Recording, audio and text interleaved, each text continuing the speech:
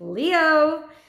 Well, this is all about you. This is your um, weekly oracle and tarot card reading from Born Without Boundaries. Hello, welcome to Born Without Boundaries. Please do click subscribe and help the channel grow. And if you like this video, click like and then share the video because that's the best way to help the channel grow. All right, Leo. Yes, this is for Leo sun, moon, and rising sign or wherever Leo influences your chart. You can apply these energies for the next seven to 10 days whenever you see this video, if the time is right for you. Leo, let's get into your video because it's your time. It's your moment. This is all about you. Remember, there's always a link to an extended in the description box and the comments below. Uh, the extended is a full tarot card spread that articulates and expands upon this reading. So if you choose to, please do click on over and enjoy that. And of course, it also includes a romantic prediction tarot. Oh boy. We's popping. We's popping. And Leo, I gotta say, mm, there is always enough feeling empty crowning your energy. And then here, tend to the small things. Something has built up over a, um, a long period of time. Um, maybe that you let go too long. And this is about it becoming like overwhelming. Overwhelming, okay. Now, this doesn't necessarily have to be a bad thing. I just got this message that it could actually be about something like feelings, something like um, longing for somebody, not feel like um like not feeling like somebody has enough feelings for you, or not getting to spend enough time with somebody that you have feelings for. Um, or not having enough feelings for somebody. It's been built up over time. Something's been building, something's rising inside of you, a desire a want and now it's kind of coming up from the depths and rising out of you. And but but you don't really know how to make the connection or um, you don't feel like there is enough of a connection either on your side or on the other side but there is a situation or circumstance that's been growing. So that's an alternative meaning but you know you take it how it resonates um, this is Piscean energy and the energy of nine that's crowning your reading. Um, Piscean energy, of course, we're in a Mercury retrograde during Pisces season, but Pisces season is Pisces season. It's a time for dreams. It's a time for getting in over your head, diving in deep into emotions, allowing yourself to be way too emotional and let the emotions wash over you. Why? Why would anybody do that? Why, you ask, Leo? Because it's freaking Pisces season and when in Pisces season, do as Pisces do. And I think that that might be a little bit of bit, bit overwhel- uh, overwhelming for you. Um, but maybe there's this issue because it's like there is never enough. Maybe you just can't get enough of something, or you're feeling drained, like there's never enough energy because there's so much emotion right now. It's making you feel drained. I don't think that this is normally, yes, you are normally passionate people, absolutely. But I, the, the, the wishy-washiness, this, the melancholy, all of these things, something's been building up, all of these things that are building up in time, draining you, pulling you down, making you feel heavy. That could be wearing on you. That It just could be exhausting for somebody who, like all fire signs, lives in the future. You know, lives thinking about whoosh, what am I going to do next? And what's coming? And really believing in your vision to get lost in illusion and to almost be stuck and stagnant. Maybe there's just a discomfort here. Um, sweet results await. Now everything came out upside down. So I'm going to go to go ahead and guess, Leo, that you are feeling a little bit drained this week. Sweet results await. You're, but this is upside down. So you're still in the middle of heavy work, heavy lifting, hard work. This is your card. This is your energy. And just like the Leo, the Leo card, the Leo energy, when I get it in reverse, it just means that your sense of self is a little bit diminished. But this is more about the technical technical physical aspects of yourself so that means you might be a little bit worn um, maybe even a little bit sick feeling a little bit exhausted drained you're working a hard like if you look at your life right now it's probably all work. And that's wonderful. Why? Because this is still a very beautiful card saying this is going to yield great results leo. Your hard work is getting you somewhere somewhere. It just feels like it's not getting you anywhere right now. It feels like you're treading water. It feels like you're drowning. Maybe you're drowning in too much responsibility too many things little bits and pieces. This is virgo energy. Once again mercury is in retrograde. Mercury rules Virgo, as everybody knows, this is an energy of all the details that Virgo usually so easily, masterfully just puts into order all kinds of chaos building up, too many things coming at the same time, a little bit of Virgo confusion, especially when Mercury is in retrograde, not being able to put everything in the order or not finding it as easy as it was to put things in order. So it's like little bitty things are building up, and work that used to be simple for you and easy for you is starting to get burdensome and hard. Now you are still plugging away but I feel like there is there is an emotional drain here because it's almost like you're giving, you're giving, you're giving, you're doing, you're doing, you're doing, and you're not getting any satisfaction. So it's almost like running on empty. Um, here we have co-create with spirit, but it's in reverse. This is a stop phrase. This is a stop clause. This is a this is a disconnect, a feeling of, yo, spirit, did are you are you still there? That feeling of just feeling like um, why aren't things going my way? Maybe feeling abandoned, feeling unsupported in your life in general, especially your social life or with people who mean a lot to you. Because um, crows are extremely social creatures, but when they're upside down in reverse, it's almost like they're solitary or they've lost somebody that they really care about a lot. They could be in mourning. So if that's happening to you, Leo, I'm you have my condolences right now. Uh, no, this isn't important, a, a, um, a premonition of anything bad happening.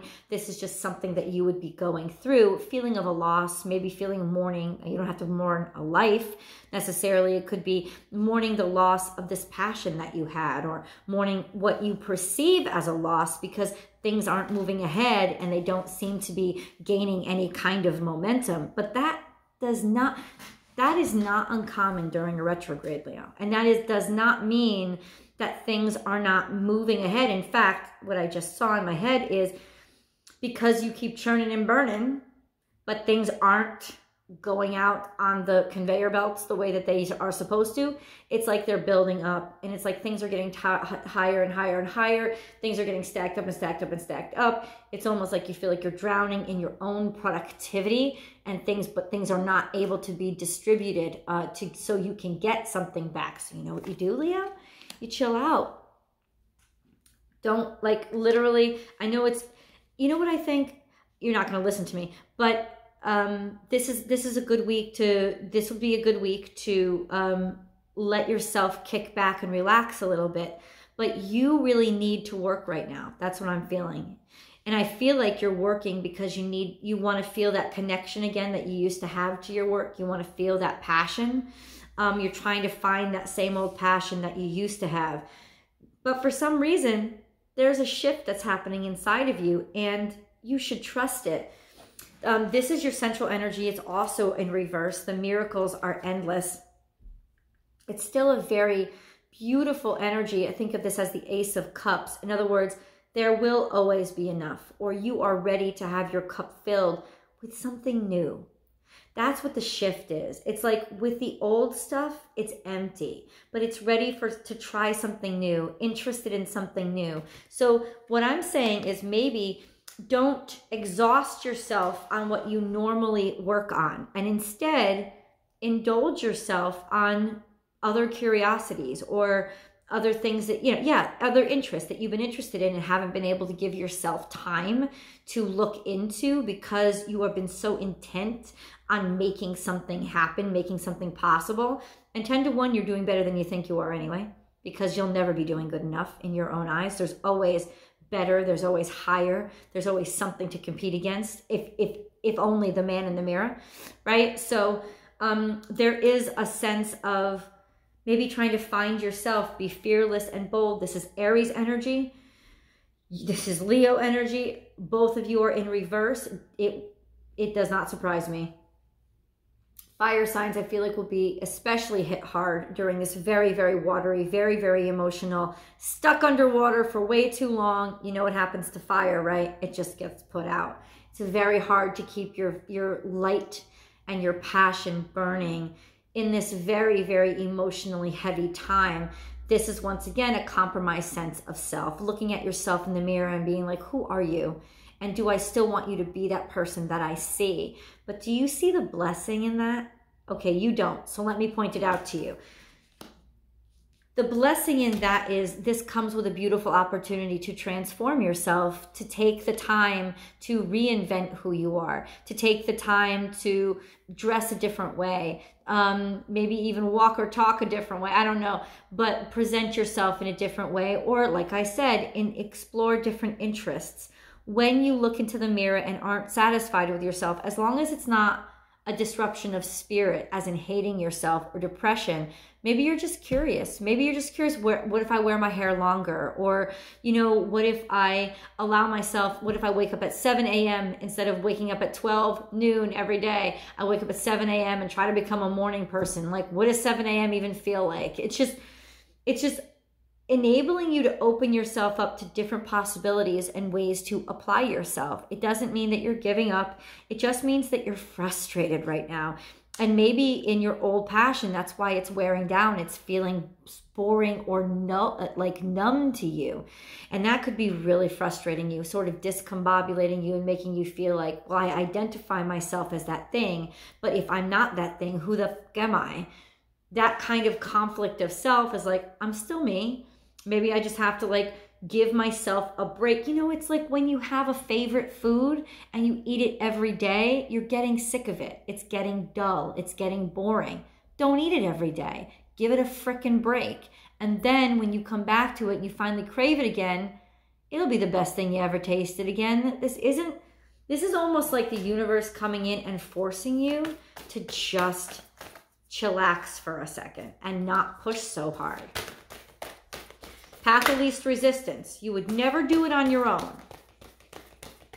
Path of least resistance. You know, I saw something the other day that said Leos can be very, very lazy. Hmm.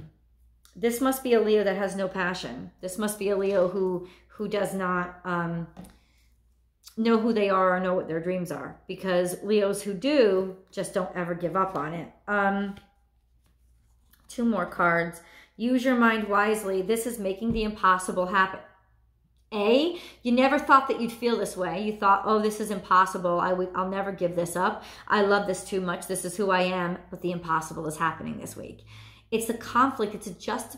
It's a juxtaposition that's intentionally coming at you to make you explore and, and understand yourself and build up dexterity to make you stronger. This isn't going to last, but please do utilize this lesson that's coming towards you, Leo, because it's not something you're going to want to miss and it is something that once you have that ability that skill that you're trying to be that the universe is trying to teach you now once you have that skill it's going to actually help you do the impossible and be bigger and be more and make the breakthrough. Why? Because you figured something else out during this time. You figured a different way out to present yourself. You figured a different way out to uh, what you could do a skill set you could do an interest and you can marry those interests with the old interests and then be unique and stand out. But you're going to have to go through this period to learn it, you're going to do the impossible. You really are. You really are. Transform.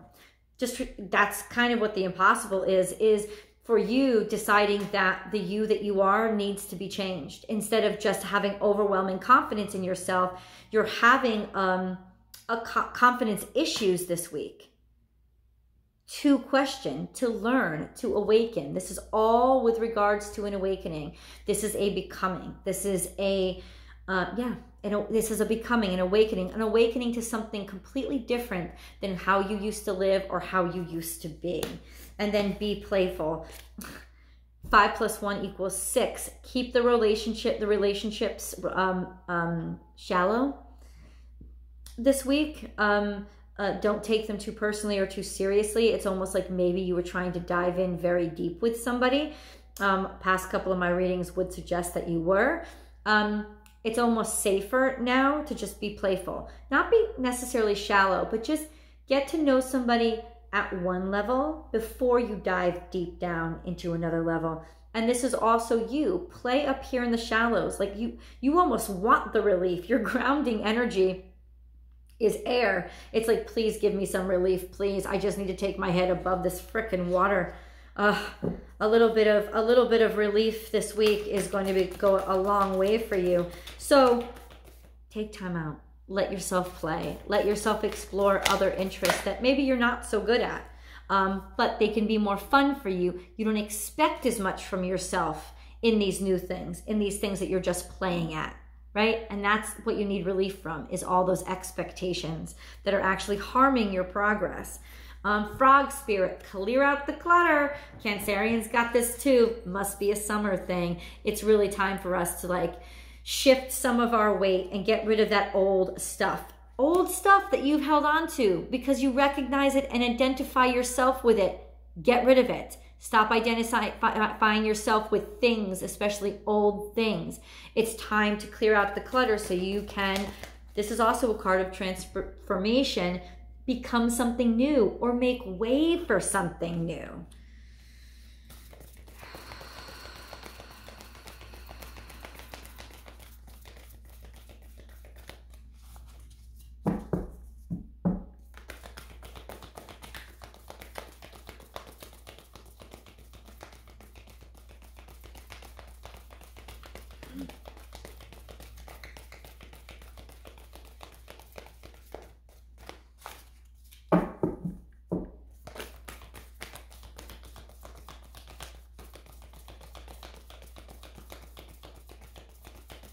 There's one more card.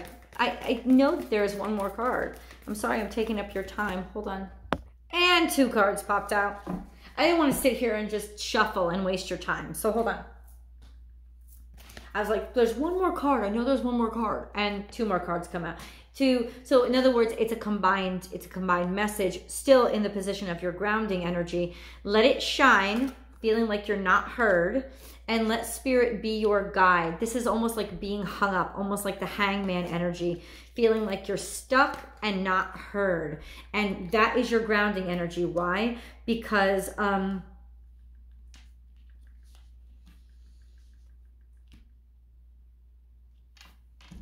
because you need to get off your feet. Know that sounds like the foolest like answer I could give you, but that really is what it is because you need to get off your feet. You need to the the answer and the solution this week is to be lighter. Like take the weight off. Lighten yourself up, lighten your load, let go. That's why. That's why.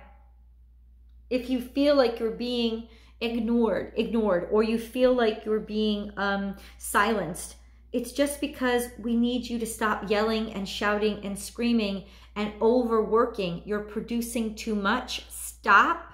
Take a frickin' second. And now clear out some of that stuff that you've been accumulating because it's not getting you anywhere or helping you in any way that's productive. This is your grounding energy. Lighten your load this week. It's a different perspective that we're seeking. That's what we're seeking this week. Hold on. Let me review the cards with you. And there you go these are the two cards that popped out, really feeling like you're like tied up and silenced and muted. Why? Because you're underwater. You're covered with Piscean water and it's really making you feel like you're drowning. And it's funny, how do you feel like there isn't enough in a time when you're flooded? Why? Because water isn't your sign. You know, that's why. Because it, floods you. You need fuel. You need fire. You need to burn but the water has put that out. It's, uh, it's smothered you. And that's why it's like, get, get rid of all the weight that you can this week you know, especially when it comes to things that make you feel too emotional. And in terms of relationships, make sure that you just don't lay the heavy on. Don't come out with the heavy. You know, maybe, maybe there might be something of like being nervous, not really wanting to let somebody know how you feel about them or presenting a gift to them and not knowing how to make that gift be something that is um, just construed as friendship because deep in your heart it really isn't friendship but you're trying to keep it light but yet it isn't light. And really not knowing the words to say or being able to find the words to say or feeling like maybe this person might take it the wrong way or even if they take it the right way that they might not return your feelings in other words leo you are feeling an uncommon an uncommon feeling and that is insecurity. And that is so that you gain a different perspective on life and remember it. Lessons learned this week will help you transform into that quality that gets you the attention that you really crave, which is something that it's just something that a, a, piece of the puzzle that you were missing that you will you can earn like at the end of the video game, you can earn it at the end of this week if you just allow yourself to